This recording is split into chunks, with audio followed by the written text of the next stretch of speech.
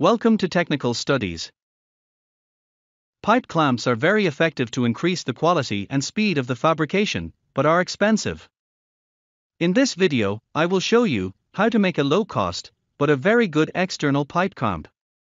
If you like this video, please subscribe and comment. Let us make the different parts of the pipe clamp.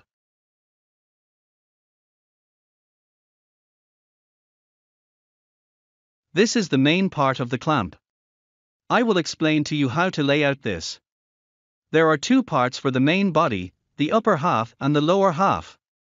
Each part of the body, there are two pieces. This layout is for a 6 inch diameter pipe clamp. Draw the center lines and draw a circle of diameter 168 mm, that is the OD of the 6 inch pipe.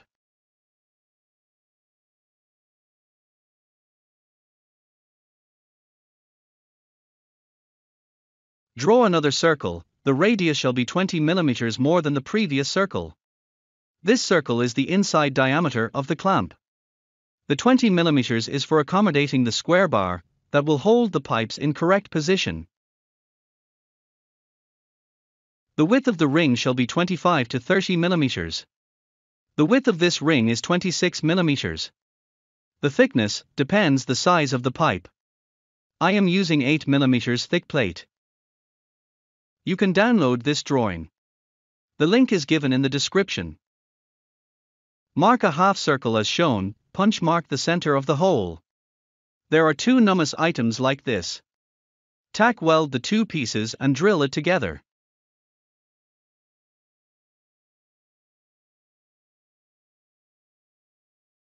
Mark as shown and cut the rings.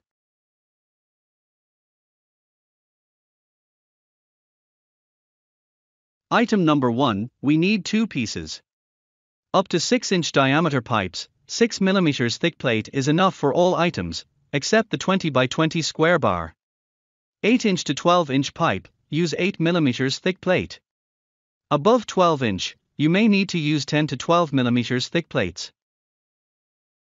For item number 2, you can use square bar, round bar, or whatever material suitable for a handle. The size shall be 6 mm to 10 mm. Up to 6 inch clamps, one handle is enough.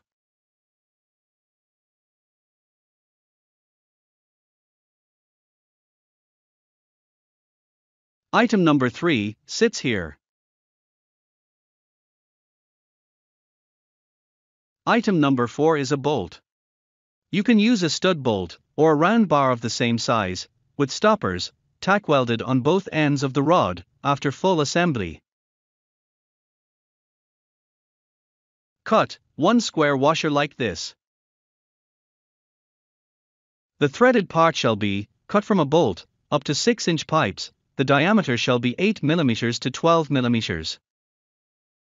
Cut and fit up the bolt, with the rod, tack weld one washer on, one side only. You can use a heavy duty washer for this. Put a 6 inch pipe on supports. Divide the pipe into 6 equal parts and draw lines, as shown. Draw two circles, the distance between shall be 43 mm, so that the square washer will sit between the rings. Tack weld the square bars on the pipes as shown. Do not weld two big tacks.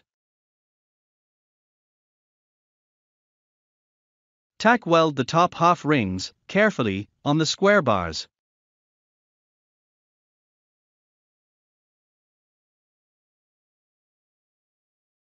Tack weld the bottom rings also. Put the lock bolt before tack welding these rings.